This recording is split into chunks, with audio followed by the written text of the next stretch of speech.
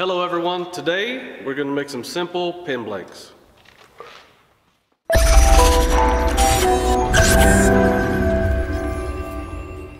Hello again everyone. I've been doing bigger projects like this Wolverine project with the light in it and all that stuff and if you haven't seen the video I'll put it up there but I've done all these other ones too and it's kind of intimidating for people and I've had several requests to say hey will you do something simple or um, something less intimidating and I'm gonna do some pen blanks today. Real simple, some are just gonna be colors, some are gonna have Banksia pods and deer antlers and all that kind of stuff. Um, here's some I got from Pam Harris and let me get to focus. These things are real cool. Actually, I won these in a giveaway.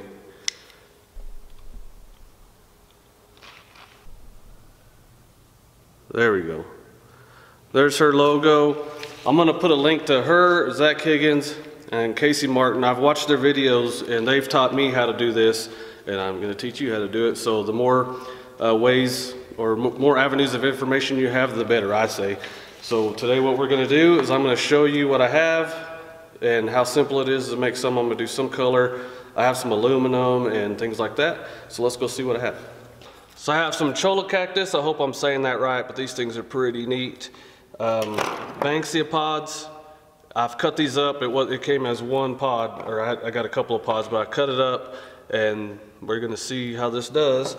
Um, some deer antlers, and these were all sent to me by Laura from Lau Woodcrafts. I'll put her name right here on Instagram. Go follow her and go follow me if you haven't yet. She also sent me a bag of this shredded money because I made the money bowl with real money and people on Facebook wanted to crucify me. So I can make a money bowl and not get a bunch of flack for it.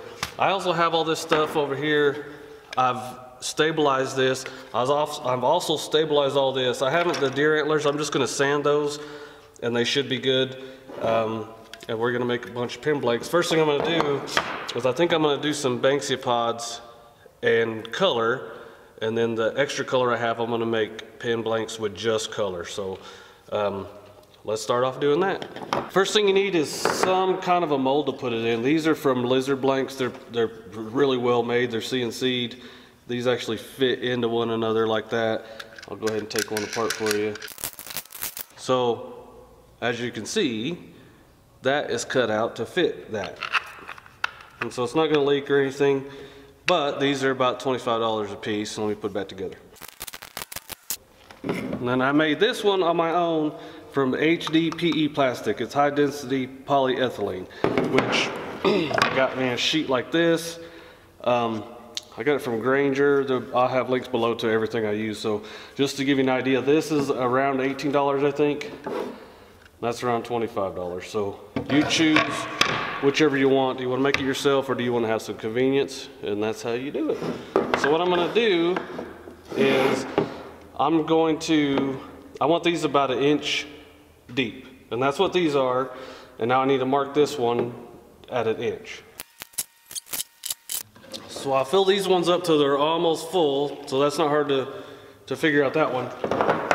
And then when I'm pouring in here or putting the pods in here and stuff, I'm gonna go up to this line here and I know where to stop. So now I need to figure out how much resin do I need? And how I do that is, you may have noticed this sitting in the background on the videos. This is just rice. So what I'm gonna do is I'm gonna fill these up to how I want them with the rice without anything else in there, without any objects in there. And then I'm gonna measure that rice with the measuring cup and then that'll give me a pretty rough idea how much I need and I won't, I won't run short. Now that's right to the line all the way around. I'll fill these up. So there, these are all full up to where I want them. And you just dump them in the measuring cup. Make sure there's none left in there. I don't know if that's all gonna fit in there. Let me get a bigger cup. These are empty and I wanted to make blanks out of these without anything in there, no wood, no Banksia pods or anything, I'm gonna need about 20 ounces. So that'll give me a good starting point for mixing this and I might even make it a little bit more because there's nothing worse than you know, running out of resin. And you're on a timer too, because this stuff uh, starts setting up pretty quick. So now I know how much I need, and I'm gonna start setting these up for how I want them in there. Now the next thing I do, I have some of this uh, aluminum honeycomb. I'm gonna go ahead and soak this in acetone and I'm gonna clean these molds real good to make sure there's no dirt. And I'm gonna have to use hot glue to hold these things down. So I want the hot glue to stick to the plastic. So um, on this one, I'm gonna clean it real good so it, it sticks and I'm not gonna use any mold release on that one. But on these two, I'm gonna clean them and then I'm gonna put the mold release on there so they come out nice and easy.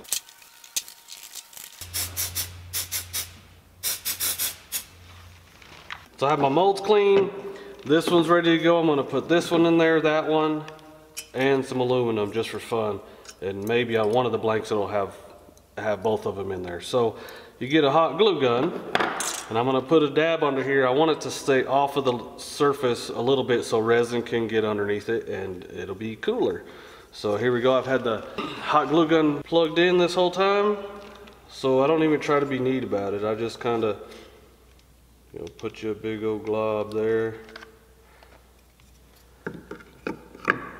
And that should, one, stick it there, and then two, keep it off of the surface. I'm gonna do the same thing with this one. I think I'm gonna put this one in there like this.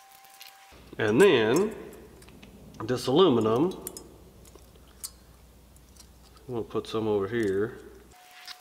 Should hold it down, that's all we need. And in the event that something starts to try to float up, all I do is I'll have a piece of, another piece of this uh, plastic and I'll just set it, if it tries to start going, I'll just put it in there like this and tape it and it should be fine. So here's our mold, it's uh, hot glued in here. All this stuff is, it's not falling out. Pretty confident about it. And all this is gonna be, these two are gonna be just color and resin. So I'm not gonna have to worry about anything floating or anything. And this is the simple thing people were wanting to see was how do you just do a casting and, and this is what it is. The last thing I'm gonna do before we mix our resin up and pour is I have the oven preheating. I'm gonna have it about 120, 130 degrees. And we're gonna set our molds and everything in there for about 15 minutes. And that's just gonna make it to where everything's going to be warmed up and the, the resin's going to stick to it better and it's not going to want to shrink away from something that's cold is my understanding of it. So uh, while the oven's preheating, I'm going to take this opportunity to say that I have big things coming up. I'm going to build a resin room in here. That's going to be a video. My next big project, before I do that is going to have to do with football. It's going to be a pretty big resin project. I'm going to be making molds and stuff. So um, I'm just asking that you subscribe so you don't miss any of that stuff. Hit the bell now let's put the stuff in the oven. While the molds are in the oven heating up, I'm gonna come over here and I'm gonna make sure everything is ready. I have my colors ready. I'm gonna do Caster's Choice uh, mica powders. One's emerald green and the other one's blood red. That should look good together. And I, I, really don't want a color that's close to the Banksia pod. So I got I have copper and chocolate and all that stuff. I don't want to use those. I want as much contrast as I can get. So those are colors I'm gonna use. I have little popsicle sticks for scoops and I have popsicle sticks in these cups. These are just cups from the store, the cheapest you can get uh, because you want to make this as cost effective as you can. Um, this is what I'm going to measure it in. Um, I have my scale here. I have the resin here, part A, part B, and this particular resin, Alumilite, this is Alumilite Clear Slow, and it goes by by weight, equal parts by weight, not by volume. So you have to have a scale for this and you only have 12 minutes. As soon as part A hits part B and you start stirring, you have 12 minutes to get it into the pressure pot. So you need to have everything ready to go. And I pretty much do. I have a temperature gun here and I get somewhere around 95 degrees with it and that's when I want to start mixing it. If you do it colder than that, then it'll start making new colors and not, you won't get the swirl effect, you'll just get a different color. So you want to make sure this stuff is started to set off um, at least about 10 minutes in, and then you, then you start pouring it, or you use your temperature gun and get it to about 95 or so degrees. Get it in there and mix it up and get in your pressure pot before it starts really setting off. You only have 12 minutes, and I have a little timer right here to tell me because I'm not going to pay attention. I'm going to be busy. So you need something to tell you, hey, hey, crazy, get that thing in the pressure pot. I just pulled these out of the oven. It was only like 120 degrees, so it's not, they're not that hot, but just be mindful you just pulled them out of the oven. I have gloves on because once you start messing with this resin and then you go touch your face, it can burn your eyes and stuff like that. And then you wear safety glasses or the safety police will turn their sirens on. I'm gonna mix our resin up in one container. I'm gonna fully mix it and then I'm gonna split it between these two cups, put the colors in there, mix them up, and by the time they get mixed up, it should be time to put it in there. As soon as I put part B with part A, I'm gonna start our timer and you'll be able to see it the whole time. Here we go. We already said it was 20 ounces, so I'm gonna go ahead and I'm gonna put 12. I don't wanna cut this short. If I have, make a little bit extra, that's fine, but I don't wanna cut this short, so I'm gonna go to 12 on this.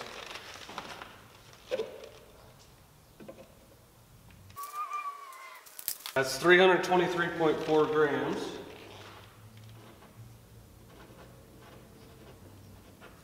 And I'll write it down and then we multiply that by two. That's gonna be six forty-six point eight. That's just off the top of my head too, that's pretty good. So, I'm gonna pour this in there until that hits up. And then, I'm gonna turn my, I'm gonna hit start. Six forty-six point eight. So there we are.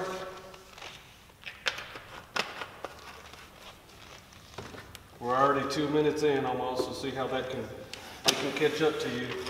I have this little, it's plastic and I can reuse it. So I'm gonna start mixing this.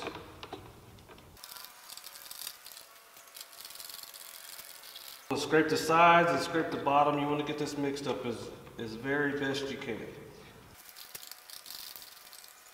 When you're mixing this, you can see little white swirlies until it gets mixed and then you don't see them anymore. And I'm just about to that point right now. And then I can split it up between those two cups. So now we put our color in. And I don't want to be able to see through this all, so I'll put quite a bit in there. And just mix, mix, mix. We're already at five minutes, so time flies. Amazing how cool these colors are. I've never used these two before. These are brand new colors I've used and they're awesome already. Mix these until either one, they're at 95 degrees or I'm at 10 minutes. So I'll just keep going back and forth and mixing these up. Making sure they're really good. We're not worried about mixing too hard. We're not mixing, we're not worried about bubbles because we're gonna put this in the pressure pot. And that'll take care of all the bubbles for us. 76 degrees, so we're still good for a while.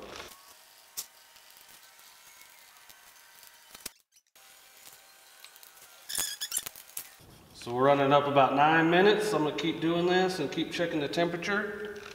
83, you can see it. It's starting to set off, it's starting to gain temperature pretty quick now. And we're about 30 seconds out from 10 minutes. And I really would rather wait till it gets to to 95 degrees. There's 10 minutes right there. So we have two minutes to get this in the pressure pot. I don't want to push it any further than that time-wise. So I'm going to go ahead and take these out and we're going to pour them. And just kind of hope for the best. 86, this temperature's kicking off pretty good now, so I'm pretty confident it's going to be good. So,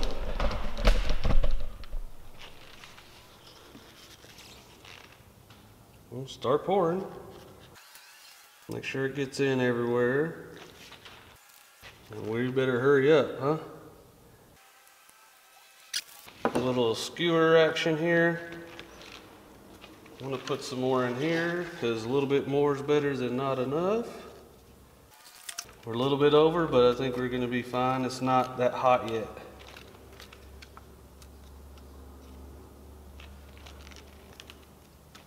So,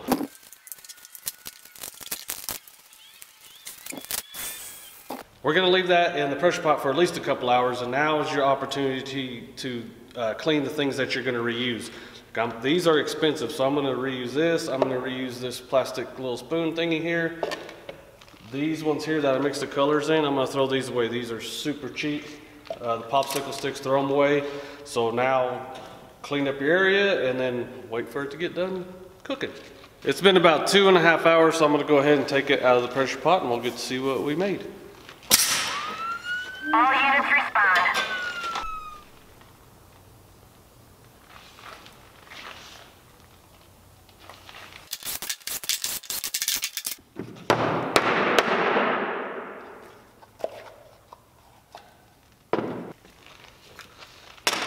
So I'm gonna take this over to the bandsaw, I think. You can also do it on the table saw. Um, the bandsaw has a way thinner blade, so I'm gonna try that, and then we'll have a way better look at what's going on in here. So let's go to the bandsaw.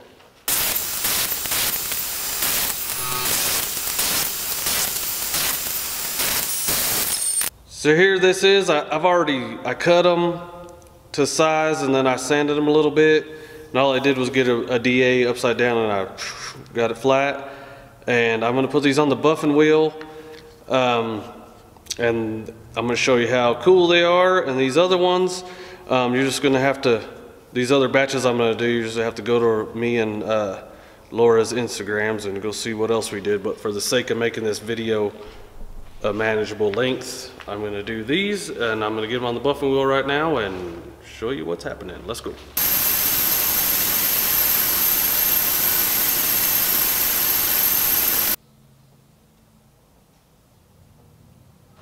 Here's the one that ended up with the aluminum honeycomb in it.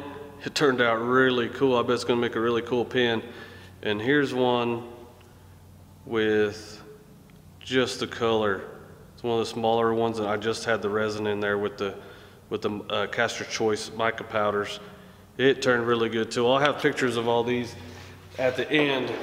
I'm gonna make a whole new batch with the antlers and all that stuff. Is they're gonna end up on uh, my Instagram and Laura's Instagram. So go ahead and check, uh, follow our Instagrams. And then um, this video was supposed to take out the intimidation of resin casting. Hopefully I've done that. Um, if you still have any questions or I'm sure I didn't cover everything, so put your in the comments below, give me questions or comments or or things like that. There's big things coming up for the shop and the channel, so stay tuned for that. Subscribe, hit the bell, and uh, everything I use today will be in links below and go check those out so you can see what kind of uh, cost there is or what kind of different uh, products are out there. Um, we'll see you next time, and y'all be good. You said, hey, stopped me just a second? Just a second away from all the pain. You told me if I leave, then no one gains. And it feels like you smashed me with a hammer. I'm ready to see we fell apart. I'm ready to believe you have a heart. And then you said, Hey, we can build it all up again.